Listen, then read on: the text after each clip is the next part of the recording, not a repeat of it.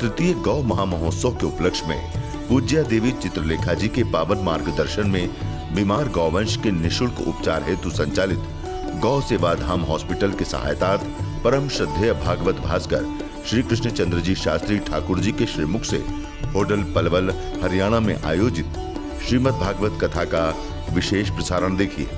15 से 20 अप्रैल, दोपहर तीन से छह बजकर पंद्रह मिनट तक 21 अप्रैल, दोपहर एक से चार बजे। सिर्फ़ आस्था पर।